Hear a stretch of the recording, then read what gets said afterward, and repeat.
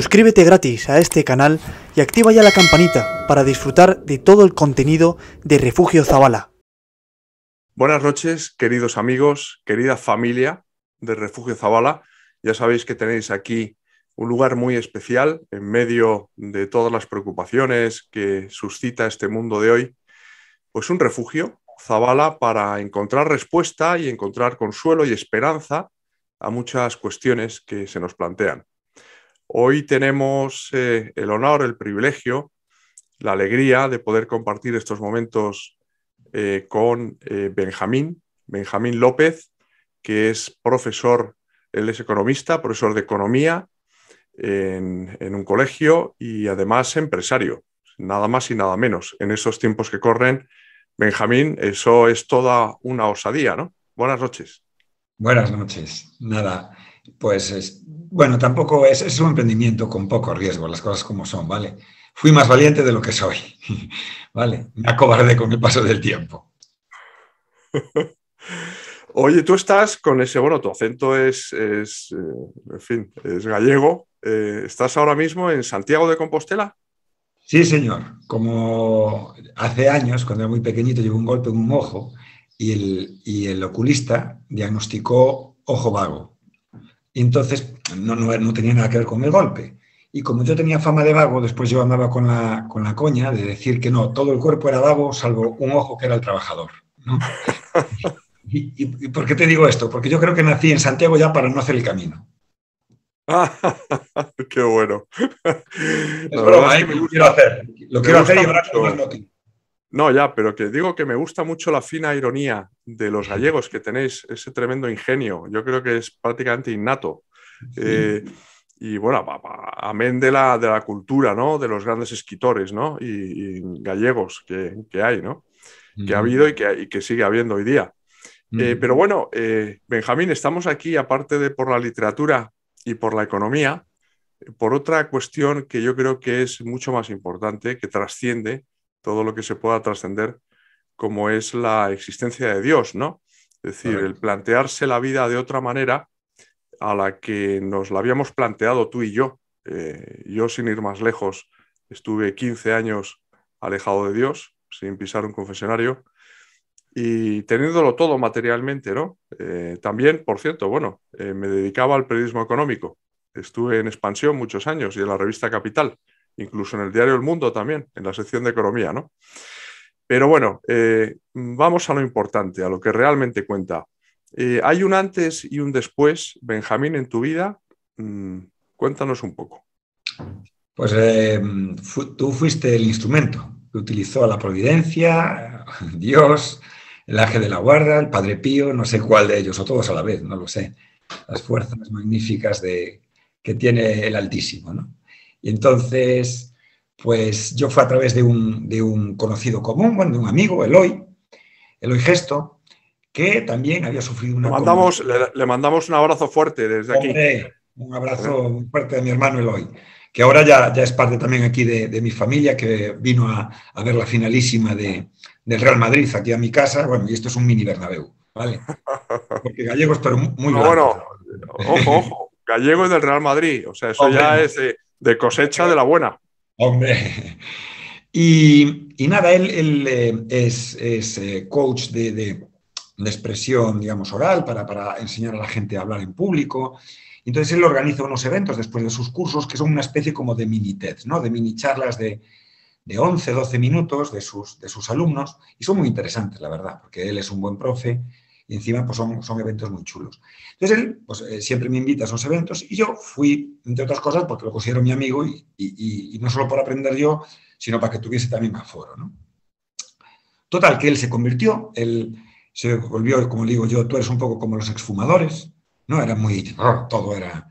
Yo estaba, yo llevaba tiempo haciendo crecimiento personal laico, ¿no? Y, y yo decía, bueno, este Eloy que, que, sí que había partido, digamos, mis padres son, son, son creyentes, mmm, practicantes, mi padre sobre todo, ¿vale? Y, entonces, pero yo no, yo ya te digo, yo llevaba eh, sin confesarme desde que me casé. Y me casé en el 2000, voy a meter la gamba, en el 2003, es que me hago un lío yo con las fechas. 2003. 2003. O sea, casi 19 años. 19 años. Sí, sí, sí, sí. Y entonces... Eh, bueno, me, me, has ganado por, eh, por cuatro. Tampoco son tantos. Yo llevo a 15. bueno, ojo. Y, digamos que mi paso previo eh, a, digamos, pues fue un poco, pues, por imposición. Y bueno, y sí es cierto que tenía, digamos, era un, católico tibio, ¿vale? Nunca renegué de la existencia de Dios. Siempre me sentó mal, pues cuando se eh, expresa, se expresaba, aunque digo bastantes tacos, jamás eh, blasfemé o, o ¿no? Eh, y cuando escuchas por ahí esas cosas que se dicen de manera automática, a mí me dolían, Pero, pero bueno, el, tema es que yo estaba, ya te digo, mm, más, más que tibio, frío. Y entonces es cuando apareces tú en escena, tú, Paloma, tu, bueno, tu familia, y me dice Eloy, mira, que viene José María Zavala y tal. Yo, yo no te tenía en ese momento en, tal. Y, pero empiezo a investigar y digo, caramba, precisamente lo que acabas de decir, ¿no? Pues para un economista, una persona pues, tan influyente en la prensa económica como fuiste tú, ¿qué pasa? Que estaba en el, tema eh, en San Fernando, ¿no? San Fernando, que por cierto, mm, yo viví al lado de San Fernando, de mis 51 años que tengo, pues no te exagero, pero 35. ¿Vale? Por ejemplo, viví en el centro, pero ni a 50 metros de San Fernando, ¿de acuerdo? Es cierto que ahora ya vivo en las afueras. Pero nada, entonces era tu charla y me dijo, ¿por qué no vienes a San Fernando y tal? Entonces, no sé, entre que él estaba un poquito extremista en el tema de la conversión y no estaba especialmente convencido, pero algo muy suave, ¿no? Empezó por el fondo a decir, tienes que ir. Tienes que ir, tienes que ir, tienes que ir. Y dije yo, pues mira, si le voy a todo el hoy, no le voy a ir a esto también. Y entonces fui. Ahí empezaste a hablar tú em, y empezaste a hablar de la figura del Padre Pío. Entonces hubo cosas que por dentro empezaron a moverme. ¿no? Empezaron a decir, joder, todo lo que dices este tío tiene razón. Es decir... por cierto, ¿tú sabías quién era el Padre Pío? No, no, no sabía, no, no, no, no. no. La primera vez que oyes hablar de él. Mm, yo te digo, no tenía... Sí es cierto que después cuando empecé a ver cosas, algo me sonaba de un monje con estigmas, ¿vale? Pero tampoco te podría decir que era él, ¿vale? Es decir, lo típico que a lo mejor salió de... Yo, soy del informe semanal y todo eso, pues a lo mejor salió algún reportaje de estas cosas que, bueno, es muy impactante, ¿no? Y, pero realmente no sabía de, de su existencia, ¿no? Y entonces empezaste a hablar de él, empezaste a hablar del repudio que había hacia los crucifijos, en la, vida actual, y que, bueno, y que todo signo ¿no? de católico pues estaba pues, siendo repudiado, ¿no? Es decir, entonces em, yo no teniendo nada, ni ningún, nada en casa y tal, sí es cierto que en el dormitorio de mis padres sí que hay un crucifijo, una imagen de la Virgen y tal, pero hubo, dice, pues tienes razón, es decir, eh, no entiendo por qué hace tanto daño. Y hablaste del Padre Pío, de la figura, pero lo que pasó fue lo que hiciste que seguramente tú ni te diste cuenta. Tú me miraste con los ojos. Tú me miraste con los ojos y para mí, a mí me llegaste no sé a dónde. Pero me llegaste muy, muy fondo, muy al fondo. Algo, dije yo, qué agradable, qué guay. Y me dijiste, que Dios te bendiga. Yo en ese momento me quedé como, sería una cosa de un segundo, de dos, pero claro, estas cosas, me sentí como bien, como tal. Y yo, claro, yo me quedé tan así que dije, pues que Dios te bendiga a ti también. Y, y él después ya me dice, oye, vente, que vamos a tomar algo, tal. Y yo, no, no, no, me voy, que, aquí ya tengo, bueno, tenemos dos niños, bueno, entonces cosas del cole, no le van bien los estudios y tal. Y, y ahí ya, ya saltó el clic. Yo ya siempre me levanté muy temprano, precisamente para hacer temas de estiramientos, cosas de, de, de, a veces meditaciones, pero ya te digo, totalmente laicas. Y esta vez, lo que primero me levanté fue con, tenía ganas de encontrar un crucifijo.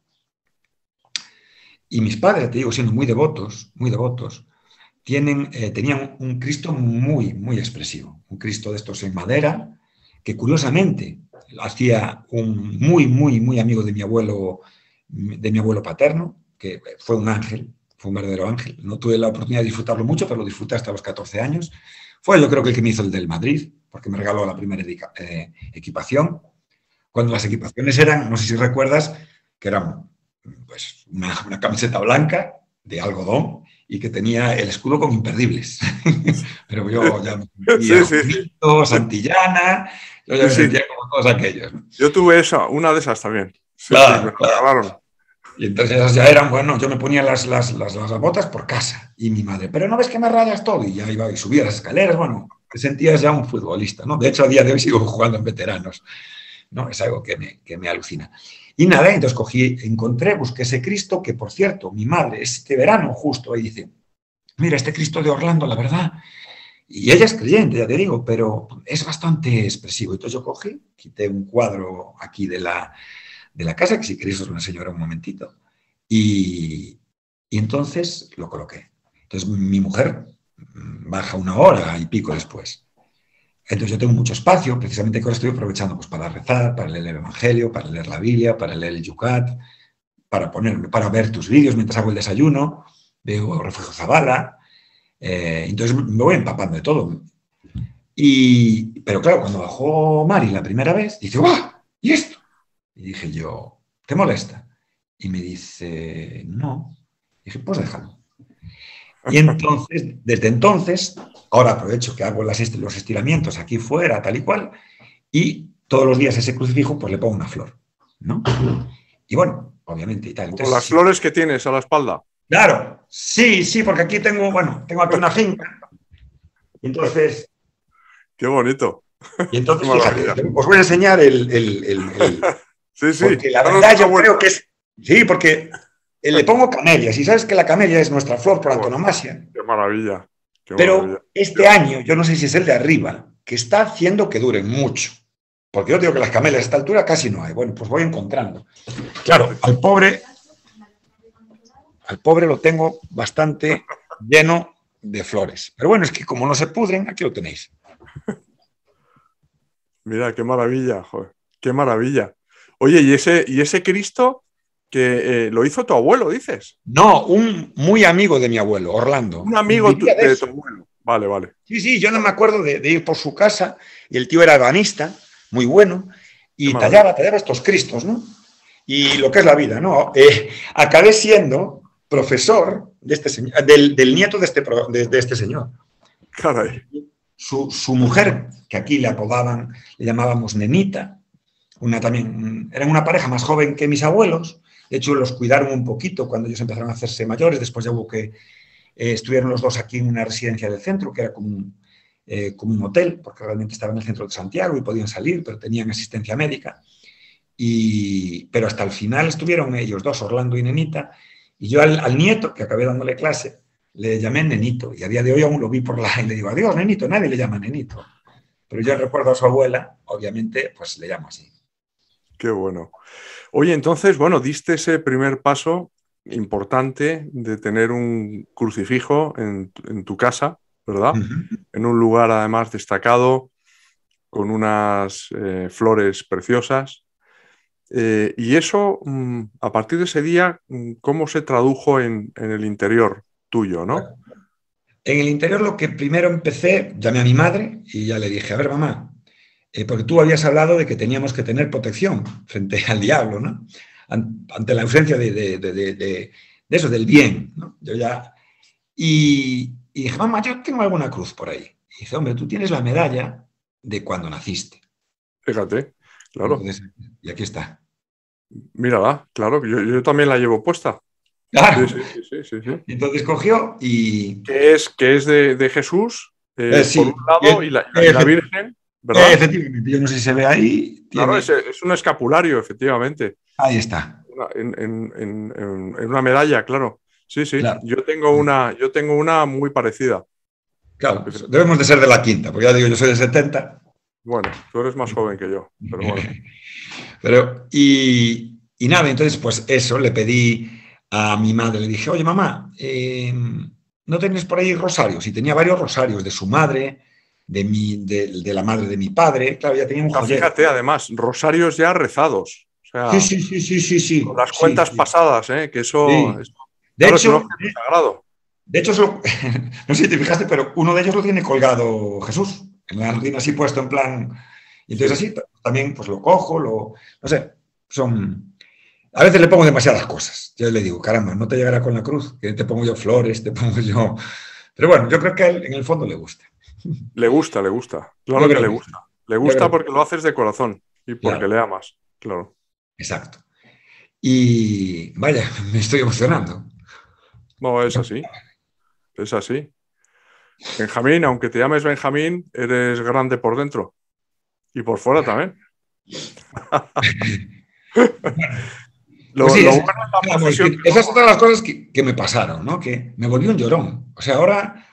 Oye, eh, eso sabes cómo se llama, ¿no? el don de lágrimas, que te lo escuché a ti. Sí, sí, sí. Bueno, es, que... eso yo también lo tuve. Yo cuando estuve, después de estar tantos años alejado de Dios, pues rompí a llorar como un recién nacido. Yo creo que si has leído tú y yo, habrás tenido ocasión de, comprobarlo, ¿no? Como estuve durante más de tres horas. Vamos, tú eres un aficionado ahora mismo a mi lado, ¿no? No, lo que sí me pasó fue que tenía ganas de ir a misa, ¿no? Y coincidió, claro, yo la imagen que tengo de la misa, claro, de ser un cristiano, un católico tibio, así de sincero te lo digo, para mí las misas eran un coñazo, porque yo no entendía nada, me costaba prestar atención. Por otro lado, yo en aquel momento pensé que el católico tenía que ser perfecto. Eh, entonces, claro, era como un... Y encima me ponían siempre a Jesús como ejemplo, que es la perfección. Entonces yo digo... Bueno, eso sí, tenemos que intentar parecernos. Otra cosa es que nos parezcamos, ¿no? Eh, efectivamente. Yo entendía cuando se nos llamaba pecadores como que se nos estaba acusando, ¿no? Y ahora yo creo que lo entiendo desde otra perspectiva. Simplemente decir, macho, que somos pecadores, que no pasa nada, que él es, ahora lo entiendo también mucho más fácil como padre. Es decir, a tus hijos los quieres siempre. Hagan lo que hagan. ¿no? no se les puede decir mucho porque entonces se vuelven un poquito díscolos. Pero, ¿qué quiero decir con esto? Joder, si él, que es nuestro padre, nos quiere siempre, ¿no? Y entonces cuando hacen una, bueno, pues te riñen, ¿no? Los padres, pero ya la olvidaron y ya te perdonaron ya antes casi de que le hicieses. Y es esa, esa historia, pues digamos, también me tranquiliza, ¿no? Para, para pues oye, obviamente hay que buscar la perfección y, cada vez amar más y mejor a todo el mundo y al universo, que es Dios, yo creo que está en todos lados. Pero somos, como tú has dicho, eh, Benjamín, unos miserables todos, todos. Tenemos esa tendencia, esa propensión al pecado por, el pecado de nuestros primeros padres y es así, o sea, y lo importante... Lo importante no es eso, lo importante es cada vez que mordemos el polvo, que son muchas veces, eh, levantarnos, no darnos por vencidos jamás, ir al confesionario, pedirle perdón a Jesús de corazón y volver a empezar, porque precisamente tú hablabas antes del mal. No, no, el mal no, el maligno, el demonio, con nombre eh, claro, que es un dogma de fe, como sabes que están los santos evangelios, la existencia del demonio, precisamente lo que quiere es que te desalientes y, que te digas a ti mismo, pero si no vales nada, si siempre estás cayendo en lo mismo, si eres un miserable, si eres un desgraciado. Sí, lo soy, pero estoy enamorado de Cristo. Y con Cristo, que es infinitamente poderoso, ¿eh? puedo hacer todo, pero sin Él nada. Efectivamente. Y una de las cosas que a mí me, produjo tremenda paz, bueno, fui a esa primera misa, yo fui solo, y fue una misa aquí cerquita de un, barrio periférico de, de, Santiago, que es el Milladoiro, donde hay muchísimos sudamericanos, entonces, la misa de doce y media es preciosa, es cantada, nos proyectan, en, es, muy luminosa porque es una, edificación nueva. El cura es muy cañero, Joséchu. Y dije yo, entonces, bueno, yo estuve llorando desde que entré hasta que salí. Teníamos las mascarillas, entonces yo las subí así un poco porque digo, esta gente va a pensar que estoy deprimido o que... Y era un lloro, pues tú lo sabrás, una mezcla de alegría, tristeza, era de, que te estabas desahogando, ¿no? Y, dije, no, yo tengo que volver. Y obviamente ya ahí ya hablé con él hoy y le comenté, oye, macho, ¿qué me pasó esto. El tío, claro, alucinó. Y, entonces me dice, bueno, mira, tienes entonces ya que confesarte y tal. Y pues sí, tienes razón, tal. Y, entonces me confesó un cura que lleva un grupo carismático, que es donde está él hoy, que él también me, ya, me decía de, de ir y tal y cual. Entonces yo fui la primera vez y, y yo aluciné. Yo aluciné porque se ponían allí a cantar, cosas que yo no sabía. Una chica se echó al suelo. Yo dije, oh". bueno.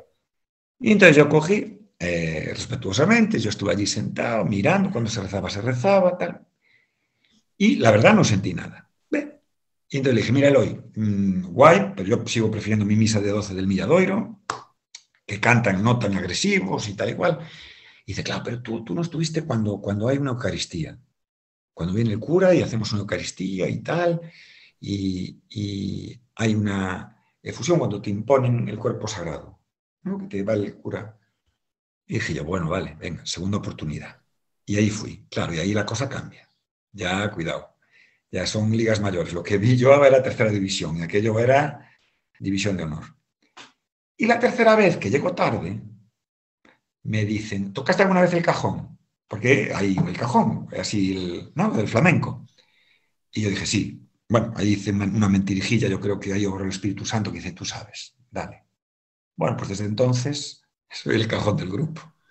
Y ahora, y ahora sí que no me lo pierdo, porque ahora lo disfruto muchísimo, lo siento tal. Y, y bueno, el, grupo, ya estamos en 42 personas, em, empezamos siendo 15 y, y, vamos a más, a más, que de hecho no cabemos ya.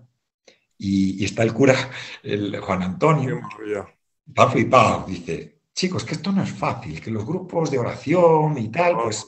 No, no, no, sois multitud.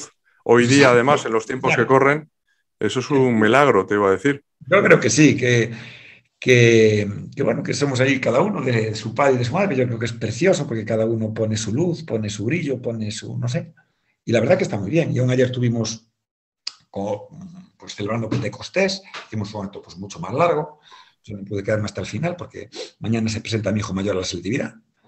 Y, y, nada. Bueno, la EBAU, ¿no? La EBAU, sí, sí, aquí le cambian de nombre. Es, yo de veces, a veces pongo ejemplos en pesetas. Digo, bueno, ese piso... Ah, Habrá que rezarle al Padre Pío para que, para que le vaya bien mañana. efectivamente, efectivamente. O sea, que sin problemas. ¿eh? Oye, una pregunta, Benjamín. ¿Y por qué llorabas? Porque lo necesitaba. Yo creo que porque mi alma lo necesitaba. A lo mejor ahí me di cuenta que estaba roto por dentro, no lo sé. Claro, eres consciente de eso y no sé, a lo mejor te sientes, buscarle una, no sé, yo creo que fue como romper algo que necesitaba ser roto. Yo creo que es como cuando nos hablan ¿no? de, la metáfora del Sagrado Corazón de Jesús, ¿no? que, nos riega precisamente cuando rompe, cuando realmente nos libera. Pues yo creo que a mí se me dio de, debió de quedar ya tibio con, con, tu charla y tal y cual, y llegué a la misa y ¡paf! y rompió. Entonces ahí yo creo que, pumba, me hablan de ella y bueno, y ahora ya te digo, ahora no puedo escuchar, por ejemplo, desde, eh, eh, pasó la Semana Santa, que en parte fue muy chulo porque mi conversión fue previa, pero yo no pude ver ni una sola película de, las de Jesús, ni una, porque solo el primer látigo me dolía a mí. No pude, o sea, no fui a ver eh, pasos, fui a ver tal, pero película no pude ver ni la primera. Y de momento todavía no pude. Pero tú le sientes desde entonces más cerca a Jesús, ¿no? Que antes estaba lejos. Sí, sí, sí. Si yo antes, ya te digo, desde el crecimiento personal, eh, el hoy está muy en contra y hay mucha gente que habla pues, muy mal, que efectivamente, que está vacío. ¿no? pero sí es cierto que hay hábitos que si tú adquieres ¿no? del crecimiento personal, es decir, de retarte un poquito y de, por ejemplo, levantarte temprano. Cuando hablo de levantarme temprano es muy temprano. Claro, a mí eso es lo que me posibilitó, seguramente, pues la providencia ya estaba haciendo camino. A mí levantarme temprano ahora y pues eso, escuchar, pues yo escucho también 10 minutos con Jesús mientras hago el desayuno. Eh, después te pongo a ti mientras desayuno. O veo algo del Padre Pío, o veo, bueno, pues cosas así, ¿no? Y después pues cojo el Evangelio, que por cierto también me dieron en una, en una misa, y me veo la lectura del día, la reflexión del Papa, la oración. En el Yucat veo, pues, veo oraciones y las rezo. Estoy yo solo. ¿no? Yo creo que una de las cosas que fundamentalmente aprendí en esto es el silencio es el silencio para que Él obre, para que, claro, si tú estás siempre, en... claro, no le das pie. Y a mí la sensación que, claro, que me dio ahora es, no que lo tuviese lejos, sino que Él siempre estuvo aquí con el Espíritu Santo. Y realmente lo único que tienes que hacer es girarte y vente. Porque Él está. El tema es somos nosotros, que si tú no quieres verlo, pues no lo ves. Eso es un, gran misterio, ¿verdad, eh, Benjamín? Porque eh, Cristo efectivamente siempre está ahí y además nos pide permiso para llamar a la puerta de nuestro corazón, ¿no? Y somos nosotros, porque nos ha hecho libres, quienes podemos decirle que sí o que no. eso es, yo también creo que es la grandeza, ¿no? Porque claro, dices, desde una perspectiva lógica, ¿no?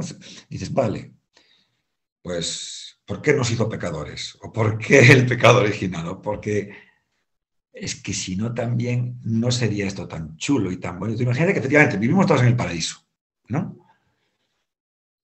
Sinceramente, José María, ¿qué, mérito tendría? ¿no?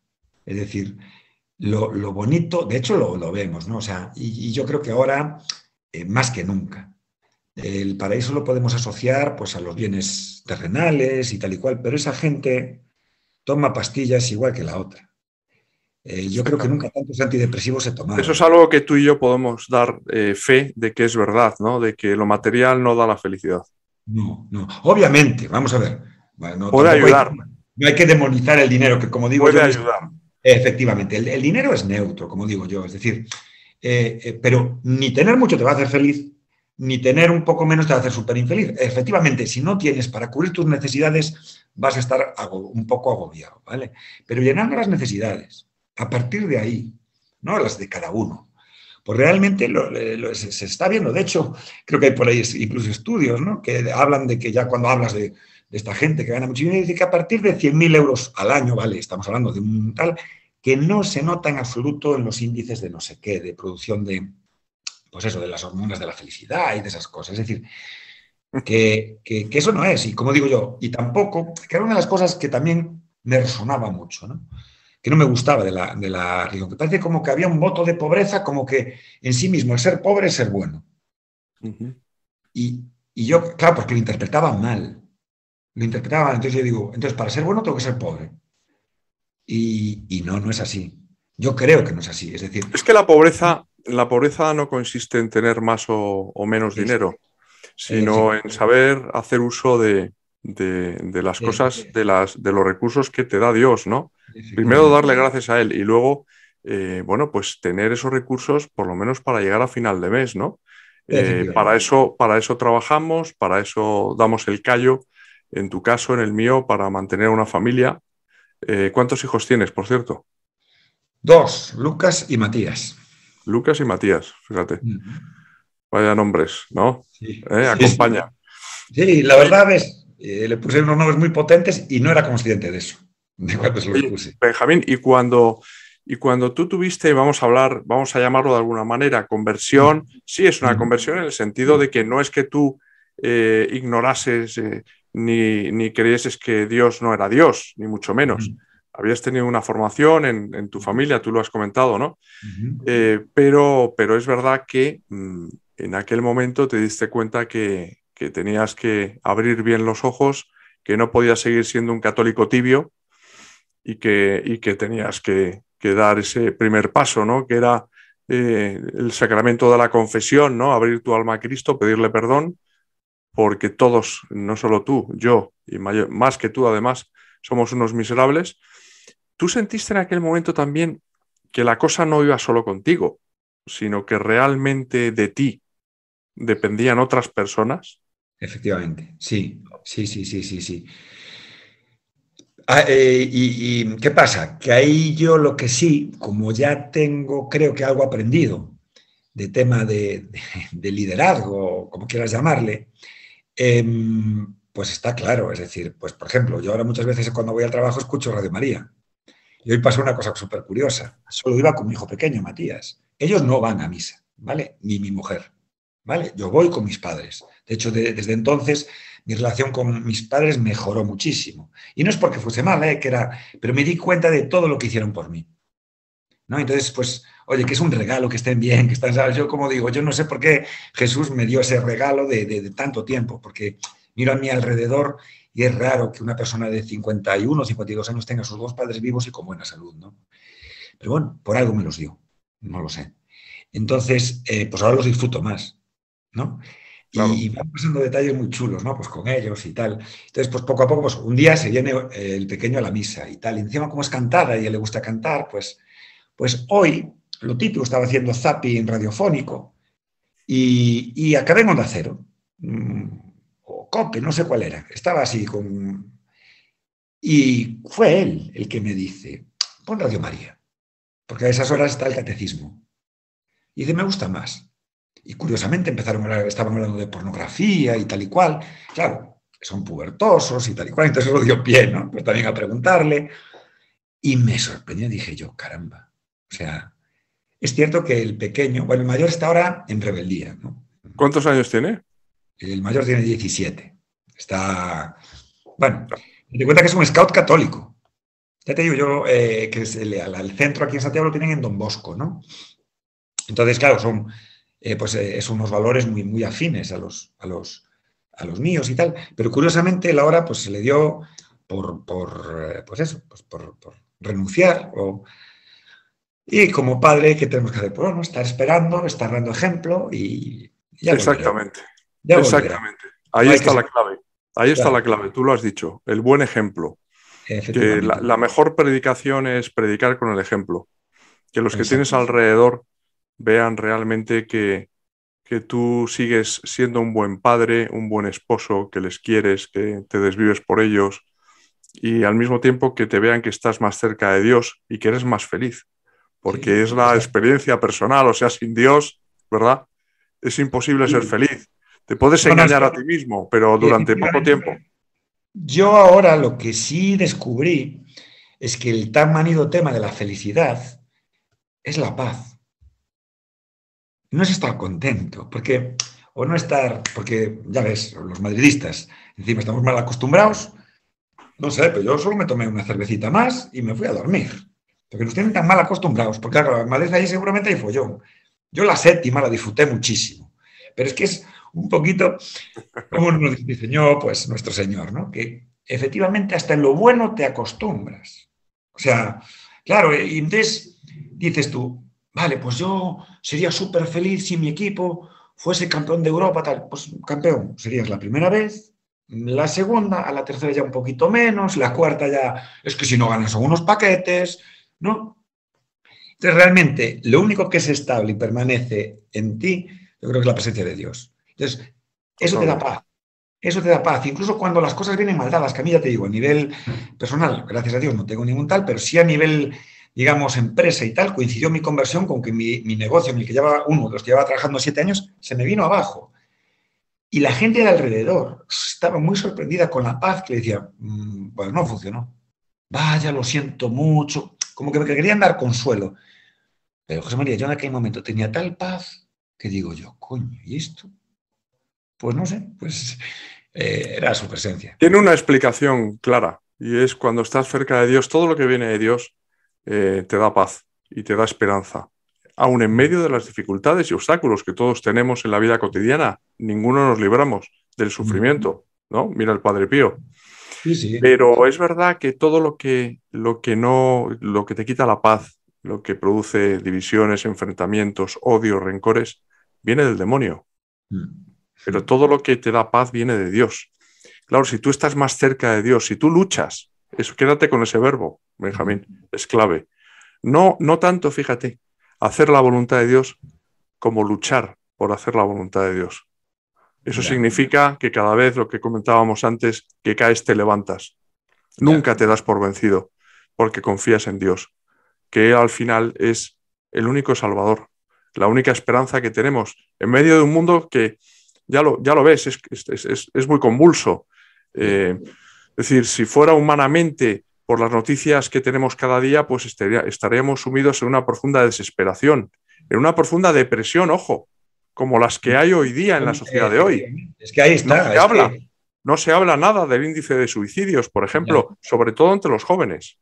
y es precisamente por esa gran desesperanza, por ese querer poner las cosas, la felicidad de uno mismo en las cosas materiales y olvidándote, por supuesto, de Dios, ¿no?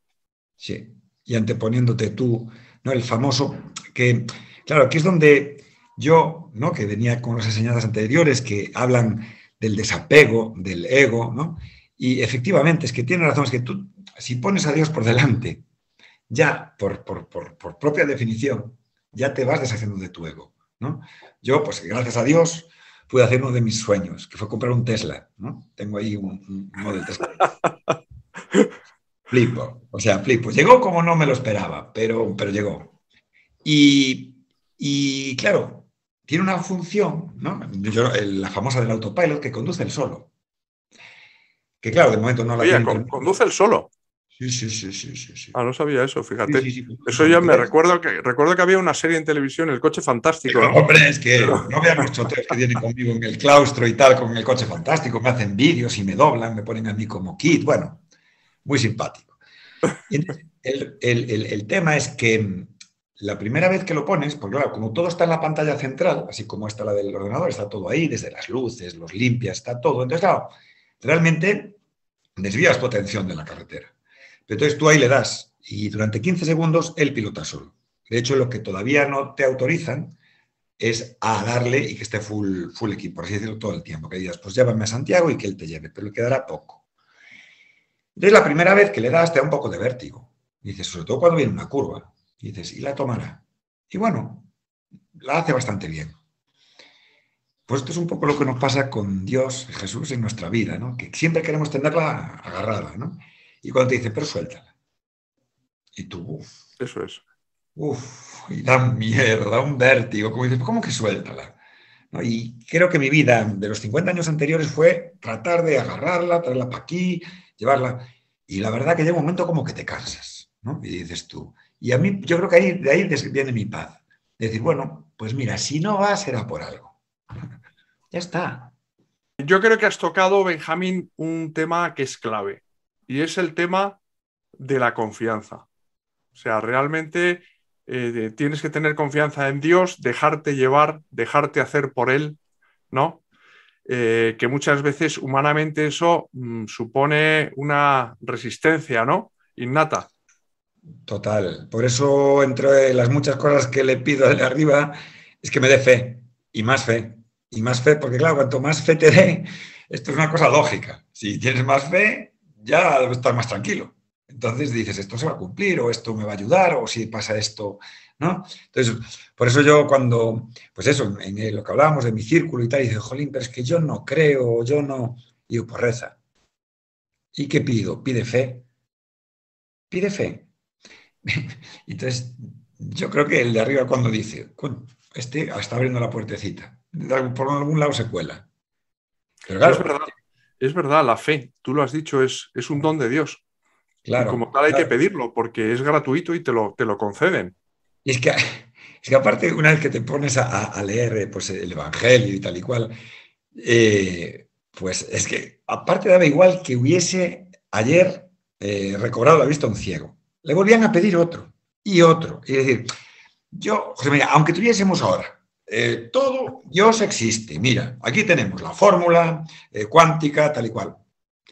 Pues ya no habría gente que no lo creería. Por lo tanto, al final volvemos a la fe, que tiene pues más mérito, ¿no? Porque yo que sé, milagros y tal, hay mogollón, o sea, que no lo puedes demostrar al 100%, pero es que da igual, da igual. Yo estoy convencido, si en vida de Jesús veían lo que veían y al día siguiente, pues ¿por qué no haces otro? Porque, claro, llegaba un momento que él se mosqueaba y decía, pero vamos a ver, ¿esto qué es? ¿Una feria? Son verdaderamente, son cosas que a mí, por otro lado, a nosotros nos sirven de consuelo, ¿no? El caso, por ejemplo, de, de San Pedro, ¿no? San Pedro que había estado, era uno de los apóstoles que había estado con Jesús en la resurrección de Lázaro, ¿eh? unos días antes, y que luego eh, le negó tres veces. Ya. Sí, sí. Dices, vamos a ver, pero claro, ¿qué pasó con San Pedro? Que a diferencia de Judas Iscariote, el traidor, ¿verdad? Eh, San Pedro lloró amargamente claro. porque había ofendido y había traicionado a Cristo y se sintió indigno de él. O sea, ahí ah, hubo, en lugar de una reacción de soberbia, una reacción de humildad, de pedirle perdón de corazón a Cristo, que es lo que hacemos nosotros, cada uno de nosotros, cuando nos hincamos de rodillas en el confesionario para pedir perdón. Porque si San Pedro renegó de Cristo, habiendo vivido con él tres años y habiendo estado, como digo, en la resurrección de Lázaro, viéndolo con sus propios ojos. Por eso dice Jesús también, es verdad. Eh, benditos los, que, los que sin ver creéis. Claro, claro. Nosotros somos de esos. Ya, ya, ya, pero insisto, ¿eh? yo te lo digo pues por experiencias ya incluso a nivel empresarial, ¿no? De, pues eso, de que tienes las cosas, eh, tienes pruebas. Bueno, pues la gente aún así no te cree. Y tú dices, bueno, pues entonces yo, ¿qué quieres que te diga? Es decir, Es verdad, es verdad. Como no creyeron a nuestro Señor Jesucristo. efectivamente, o sea, si Entonces, yo creo que es eso, yo creo que es una de las de los intríngulis y de los misterios, que, por eso se llama también el misterio, ¿no? Es decir, porque efectivamente, ¿no? Que Dios es un mitrino, es muy difícil de que nuestro cerebro lo asimile, ¿no? Es decir, y, claro. Necesitamos la fe, necesitamos la fe. Claro, por eso yo creo que todo empieza ahí. Y dices, es que no tengo fe, pues reza. Es que me sale de manera mecánica, pues reza. hace poco leí de Ratzinger, del anterior Papa, que claro, como teólogo, Dios mío, qué portento, qué pasada. O sea, eh, yo, claro, al principio, como, como profano, pues claro, yo, conmigo empatiza más, te lo digo en serio, pues el, Papa el nuevo, ¿no? Es más, estoy casado con una argentina, entonces también es ¿Es argentina tu mujer? Argentina, mi mujer. ¿De dónde es? Del barrio de Flores, precisamente muy cerquita donde era el Papa. De, Buenos Aires. Sí, sí, sí, sí. Pues, pues nada, y decía Ratzinger, ¿no? Que en, el rezo del rosario, que él hablaba de dos cosas, ¿no? del rezo automático, del rezo automático, y del rezo sintiéndolo. Dice, los dos son buenos. Y claro, por lógica tú piensas, el automático en qué es bueno. Entonces, claro, tú vas repitiendo, repitiendo, repitiendo y de repente, ¡pof!, te viene la paz. Claro, entonces está muy bien, porque es una herramienta buenísima, porque si, lo, estás muy consciente de lo que estás diciendo, bien. Y si no estás muy consciente y lo vas repitiendo, también hace efecto. Pero hay una cosa que es, yo creo que es muy importante, y es que mm, la religión no es un sentimiento, no es algo que tú verdaderamente sientas. Es decir, yo es que siento eh, que tengo que ir a misa. No, yo tengo que ir a misa porque es la manera que tengo de demostrarle a Jesús que le amo. Bien. Claro. Sobre todo ir cuando no te apetece. La mejor, exactamente. Exactamente. La mejor, la mejor misa es aquella que, la, que la sigues. El mejor rosario que rezas es aquel que lo rezas, ¿eh? aunque no lo sientas. Ya. Muchas veces, pero en el fondo tú rezas el rosario porque amas a la Virgen. Y ella lo sabe. Y a veces eh, tenemos todos la sensación los sacerdotes, por ejemplo, también el peligro de caer en la rutina al celebrar la misa, ¿verdad? Pero mm, tenemos que luchar contra eso y luego cuando rezamos el rosario darnos cuenta, mm, procurar. Pero fíjate, Santa Teresa de Jesús.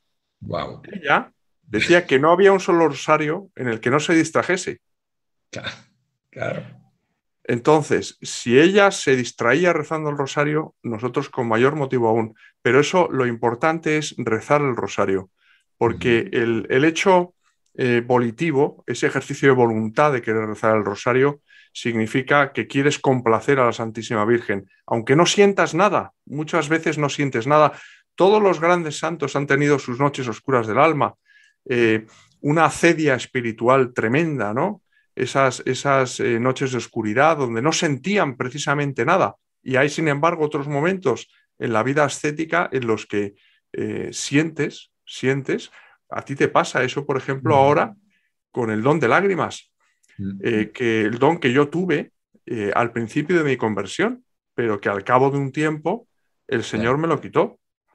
entonces, claro, mm, ahora decir, pues no tengo ese don de lágrimas, pero pero de alguna manera lloro por dentro, ¿no? Lloro por dentro también, ¿no? Eh, en fin, eh, Jesús nos conoce a todos muy bien y sabe perfectamente desde el momento en que tú le abres tu corazón cómo tiene que actuar en él y cómo nosotros tenemos que dejar que actúe para que nos vaya moldeando, ¿no? Porque para mí, de verdad, eh, en, los años que llevo ya vividos a estas alturas de mi vida, estoy convencido de que Cristo es el único que nunca falla el único, que nunca falla. Cualquier mm. persona humana, cualquier persona de esta tierra, que no hay ningún santo en la tierra, todos están en el cielo, eh, te puede fallar en un momento determinado porque todos somos miserables en mayor o menor medida, ¿no? Eh, pero Jesús nunca, nunca falla. Es el compañero fiel, el amigo fiel. Y es algo maravilloso. Está claro, es, es, es Dios en la tierra, fue Él, fue su Hijo. ¿no? Entonces, y, incluso ahora que hablamos de las noches, ¿no? Pues aciagas o, o que vos de dudas, ¿no? O las noches simplemente que tienes problemas y que no en la oración no tienes consuelo, ¿no? Porque te distraes, lo que tú lo que tú estás comentando. El propio Jesús, ¿no? En el Monte de los Olivos, cuando llega el tramo final, Él no quería, lógicamente, ¿no? O sea, siendo hijo de Dios y dice, macho, si puedes, sácame de aquí. ¿No? Pero y hubiese sido muy, muy fade, ¿no? O sea, para los ateos, agnósticos y tal, y dice, ay, ¿por qué lo dejó morir la cruz? Porque tenía que ser así. Tenía que ser así. Y Judas tenía que existir también. Es que si no, ¿cómo lo aprenden, no? Es decir, es decir, es, la verdad es un misterio, pero conforme lo vas descubriendo, cuando vas leyendo, ¿no? Yo, claro, ahora soy carismático, soy de los... Y, y me dice el, el cura, tú eres un carismático del libro. Y yo, ¿y eso? Pues sí, acabo de llegar, se hace, llegué tres meses. Y dice, mira, a todo el mundo le hablas de tu conversión. No paras de rezar. Es cierto que ver, no soy todo lo constante en el rosario, ¿eh? me acuso, pero sí es cierto que a ratos hago un poco lo que, lo que tú comentas muchas veces, ¿no? Pues veo una persona y la veo, hay mucha tristeza en la mirada de las gentes, ¿no? Entonces, pues rezo por él. Un Padre Nuestro, un Ave María, y bueno, van sumando, ¿no? Que de hecho a veces yo creo que a lo largo del día hago más de las 50 ¿no? Ave Marías y de los 10 Padres Nuestros, pero no los hago condensados en, el rosario, ¿no? Es decir, y, no sé, es, es, es, es eso, me rezo eh, la, conversión y, claro, y tratas de, y leo la Biblia, que creo que es la otra, la otra historia. Y de hecho mi director espiritual, que es curiosamente el cura, yo fui, que le pedí, oye, mm, quería que fuese mi director espiritual. Tal vez se quedó sorprendido y me dice, mira, yo nunca fui director espiritual de nadie. Y es de mi edad, más o menos. Y yo me quedé mirando, callado, y dice, bueno, pero puedo aprender, ¿no? Y yo, claro, claro. Y bueno, entonces él me, regaló una Biblia de, de, Yucat, que está muy bien, porque claro, hay unas partes del Antiguo Testamento que son una retaíla de nombres que tú dices, ¿y esto para qué? Y, y, está muy bien, está muy bien, ¿no? Y me, y, me va, me has, comentado, has comentado, Benjamín, un tema eh, muy, muy, muy importante, trascendental, nunca mejor dicho, que es la lectura de la Biblia, de las Sagradas Escrituras y en particular del Nuevo Testamento. yo como escritor puedo decir que pocas, eh, pocos escritos superan a los hechos de los apóstoles. Es decir, es el ejemplo más claro de cómo la realidad supera la ficción con creces, porque es un relato maravilloso. Estos días, además, en la Santa Misa, que se están leyendo las lecturas, eh, pasajes de los hechos de los apóstoles, son maravillosos, desde la conversión de San Pablo hasta, bueno, cómo los encarcelan a, Pedro, como, en fin, cómo, San Pablo pasa un verdadero vía crucis por dar a conocer y amar a Cristo, ¿no? Eh, y es, es, verdaderamente impresionante. Y yo creo que en ese sentido eh, los católicos tenemos que, que, tener muy claro que hay que leer eh, la palabra de Dios. Y, y muchas veces, oye, yo me incluyo, ¿eh? la despreciamos o no le damos el valor que tiene. Ya. Pero es que ahí está todo. Yo ahí el, consejo que a mí me llegó, nunca mejor dicho, el llovido del cielo, fue la tercera misa de este hombre, nos regaló a todos un evangelio pequeñito, donde viene la lectura del día, una reflexión del Papa y una oración. Eso es muy práctico, muy útil. Súper útil, ¿no? Lo leo, lo reflexiono, lo medito, tal. Entonces, claro, pues está muy bien porque te va, claro, encima te va preparando muy bien toda la Semana Santa, porque claro, vas viendo pa, pa, pa, pa, pa, pa, Entonces, oye, es una manera muy, muy chula de, leerlo y de, encontrar un sentido y encardinarlo también con todo lo que es el, culto de la Santa Iglesia Católica. Es decir, que pues está muy bien, la verdad, y es, es muy, la verdad que es muy poquito. Oye, mis padres, siendo ellos mucho más creyentes, ellos ya tienen pues le regalé uno y que, están alucinados. Se lo compré más grande porque pobrillo ya no, y no, y con la letra más grande, ¿no? Pero muy, aparte, aquí un consejo para todos, que encima es súper, o sea, a nosotros nos lo regalaron en la iglesia, hombre, y no sé si vale ni, dos euros el pequeñito. Dos, dos euros o tres euros, vale, sí, algo así. Es nada, si es, y oye, es, es, vale oro. No es nada comparado con lo que encierra. Bueno, bueno, no tiene valor, no tendría valor. Benjamín, ¿y, a ti qué te llama más la atención de la figura del Padre Pío? Eh, lo cañero que es, lo, lo cañero que fue. Eh, a mí me va la caña, a mí me gusta. A mí, por eso yo creo que soy carismático, ¿no? O sea, a mí me pusieron a tocar el bombo, a hacer ruido, claro, y eso me gusta.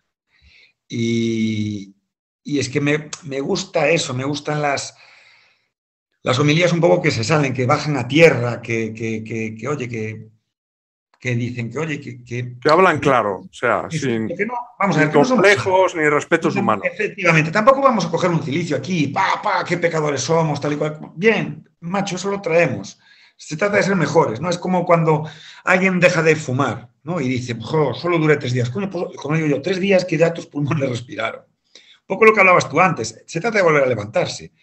Si caer, vamos a caer, uno en un lado, otro en otro, te salen las miserias donde menos te lo esperas, ¿no? De repente tú te quedas ahí medio guay, guay estoy súper tal, y de repente, pues tienes eso, un revés económico y te, te pones fatal, y después seré miserable, seré miserable. Si realmente esto ¿no? Es, pero es que es tan fácil moverte a la banqueta, ¿no? Por más que tengas una buena banqueta, por eso es importante tener fe, ¿no? Exactamente. Eso es lo que te llena realmente. Y luego también es verdad, ¿no? La familia que reza unida permanece unida, ¿no? Y en ese sentido yo creo que eso para ti supone un desafío, ¿no? Y un reto, que a ti te gustan los retos, ¿no? Sí, sí, sí, soy cañero. Soy... la caña, es un cañero. Sí, sí. Nada, pues lo, acabaré consiguiendo, yo lo sé. Todo lleva su tiempo, hay que ser pacientes, como también le digo yo a la gente, joder, que la conversión es que te, se te aparezca Jesús o la Virgen. No, no, no, no, no. De hecho, hay días que tú dices, no noto nada, lo que decías tú, ¿no? Y dices, a ver si esto se fue, a ver si esto... Bueno, pues, pero te levantas después y o, rezas un poco y de repente, vuelve otra vez, vuelve la chispita y tú dices, vaya, ya está ahí. Ahí está. Y eso es, eso es clave, ¿no? Porque eh, lo que tú has dicho, eh, primero respetar la libertad de los demás, eh, no ser el, el típico pelmazo, ¿no? Que va, oye, que tienes que ir a misa, que tal, que no sé qué, que tal, sino bueno, pero y luego la oración, la oración de un padre y el ejemplo, el buen ejemplo de un padre, eso acaba dando fruto tarde o temprano siempre. Eso no falla. Creo que sí, de hecho, eh, de hecho, por ejemplo, Eloy ¿no? me comentaba, ¿y cómo está tu padre? ¿Cómo está tu padre? Porque claro, mi padre es el más devoto ¿no? de todos. Date cuenta que mi padre nos tiene sobornado para ir, él es de primeros viernes, y entonces eh, él decía, él cogía y para que fuésemos pues, con él a misa y tal y cual, date cuenta que encima su, su, su padre espiritual es el párroco de la Corticela, cuidado, que es la capilla más antigua de la catedral, es la de los peregrinos es entrando por la zabachería, la primera a la izquierda. Que de hecho es, se ve hasta un campanario pequeñito en el pasaje que hay de la zabachería a Platerías. ¿no? De hecho, un funeral de mi abuelo, del padre de mi padre, se celebró en la cripta del apóstol. O sea, eh, en la urna que se ve, se celebró allí. Porque este hombre pues, se había olvidado de reservar una capilla pues, para hacer el funeral y de repente allí nos vimos que bajamos y, uy, ¿y esto qué es? abrió la, cancela esa y allí nos, nos ofreció el, funeral. Es decir, pues mi padre nos tiene dicho, si venís conmigo a misa, al lado, sabes que en la Plaza del Obradoiro está el Hostal de los Reyes Católicos, ¿no? que, hasta hace nada era un parador categoría especial. Maravilloso, aquello es precioso. Y va y dice, os invito allí a un desayuno continental. Ah, está bien, Hombre, ¿para qué, para qué negarlo? Pues, ya íbamos por el desayuno. Y entonces, pero lo que te comentaba, mi padre lo está llevando con aparente tranquilidad. Yo creo que por dentro el tío está votando, obviamente, ¿no? Porque es lógico, un tío, pues, lo que le debe llevar rezado por nosotros, ¿no? ¿Te das cuenta? ¿Te das cuenta? Sí, sí. La oración. Obviamente, El fruto que da, tarde o temprano. Efectivamente. Y de hecho, también digo una cosa, desde un punto de vista extremadamente pragmático, cuando yo miro a mi alrededor, la gente más alegre es la más creyente. La gente más que más reniega de Dios, sinceramente es la más amargada. No le va bien nada. Se quejan de todo el mundo y de todo. ¿no? Esa, gente tóxica, ¿no? Que por así. Una persona que es creyente lo ve todo con, otras gafas, ¿no? y además, ya, es que es muy importante lo que estás diciendo, Benjamín, porque realmente tú imagínate eh, si todos intentáramos ser mejores personas, mm estar cerca de Dios, en lugar de haber disputas, enfrentamientos, odios, rencores, que son los que predominan en la sociedad mundial hoy, y guerras, intentaríamos hacernos la vida más agradable los unos a los otros, ¿no? Sí, total, total. Y, lo que muchas veces pues, se oye, se escucha en las homilías, ¿no? De, de, pues, sacerdotes pues, muy, muy inspirados y tal y cual, y dicen, lo fácil, lo fácil es querer al que te quiere. Lo difícil es querer al que no te quiere. Eso es. Y es un ejercicio duro, pero es, pero como ya digo que me van los retos, y me di cuenta que algo está pasando cuando, fíjate, pues las salvajadas que está haciendo Putin ¿no? y Rusia en Ucrania. Entonces, pues eso, pues surgen debates en clase. Y entonces un día hubo como un clamor, no, ojalá que Putin se muera, ojalá. Oye, pues me empecé a sentir mal. Y obviamente no es buena gente Putin, lo tenemos claro. Pero es que ni a ese le deseo a día de hoy la muerte. Bueno, es el ejemplo de Cristo, ¿no? Claro. Quienes, quienes le crucificaron en aquel momento, que somos todos nosotros con nuestros pecados, ¿no? Eh, y sin embargo nos ama infinitamente. Efectivamente. Es que es, es, increíble, o sea, es que es algo tan maravilloso, tan prodigioso, que, que es así, ¿no? Y fíjate la, la, vida del Padre Pío. Le colocaron micrófonos en el confesionario.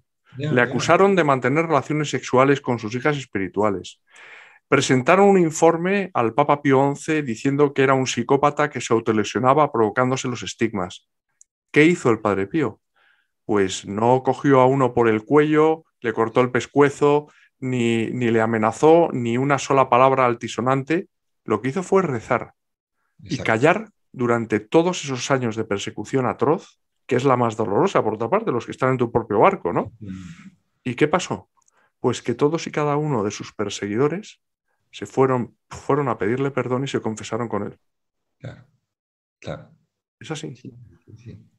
sí es, es, es, es, apasionante la, la, la, vida del Padre Pío, ¿no? O sea, todo fuerza, aparte... Un ejemplo, o sea, es un ejemplo. Los santos están para eso, para que intentamos, intentemos parecernos lo más posible a ellos, ¿no? Sí. Yo de, insisto, tampoco sin agobiarse, porque claro, realmente yo te pongo lo que me pasaba claro. a mí. Claro, digo yo, no, pero, pero, presión, ¿no? pero, pero Benjamín, pero siendo consciente de que, que hay que mejorar, de que hay las que fuerzas, ser... de que las fuerzas no son las nuestras. No. Es decir, nosotros, o sea, Jesús lo que quiere de nosotros es que le abramos nuestro corazón para que Él pueda obrar a través de nosotros. Pero nosotros no somos aquí Sansón, ni somos No. los poderosos, ni los forzudos. Realmente es Él el que hace las cosas y nosotros le dejamos actuar en nuestras vidas. Exacto. De manera que no, no debe entrar a nadie el, el agobio, sino todo lo contrario. No. De lo que hablábamos antes, la confianza de estar en las manos de Dios. Entonces, Eh, eh, que recen por fe. Y ya está. Y a partir de ahí ya todo se desencadena, es algo lógico, ¿no? Es decir, lo que no es lo que precisamente lo que escapa de la lógica es la fe, pues pídela, ya está. eso es. Oye, que el Te Espíritu voy a, Santo- mira, vo- yo Sí. creo que podemos terminar aquí Sí, con, claro. esa, con ese llamamiento que has hecho. ¿eh? Si no tienes fe, pídela. Pídela Claro. con, con humildad a Dios, que Dios te la dará. Y Eso serás es. una persona inmensamente feliz. Yo te voy a pedir un favor, y es en Sí. que cuando puedas, yo sé que estás muy liado, pero cuando puedas, te pases por la Catedral de Santiago y, Sí. y delante de los apóstoles nos pongas a todos los seguidores de Refugio Zabala para Por que el apóstol nos ilumine también y nos haga eh, ser mejores personas y seguir a Cristo siempre hasta el final.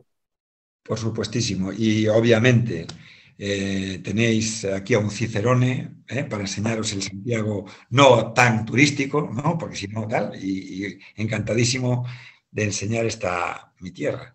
¿no?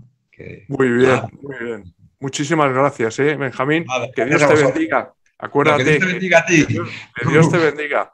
Te lo reitero y te lo repetiré siempre, ¿no? Porque es, es verdad, a mí me encanta cuando alguien me dice que Dios te bendiga, ¿no? Ya. Es muy importante. Yo, yo lo digo mucho, lo digo mucho. Y es curioso, es curioso porque muchas veces incluso nosotros, ¿no? Pues nos ponemos, nos, nos, nos autocensuramos, ¿no? Pues, y, y es sorprendente cómo la gente cuando le dices eso, pues algo hay. Es decir, de hecho, empiezas a escarbar por ahí, empiezan a salir católicos por todos lados. Pero claro, que estamos como medio también soterrados. Pues es el momento de levantarse y decir, oye, que no pasa nada, si no, si es bueno y todo lo que tenemos que hacer es evangelizar. No, tampoco se trata de, de- con- no hay que ser plasta en absoluto, no. Pero si eres buena gente y tal y cual, dicen, ¿y este por qué está feliz? ¿Y por qué tal? Bueno, queridos amigos de Refugio Zabala, eh, despedimos este magnífico programa eh, y os esperamos el próximo jueves, como sabéis, a las diez y media de la noche con otra gran historia que seguro os servirá para acercaros a Dios. Así que Él os bendiga siempre. Gracias. Suscríbete gratis a este canal y activa ya la campanita para disfrutar de todo el contenido de Refugio Zavala.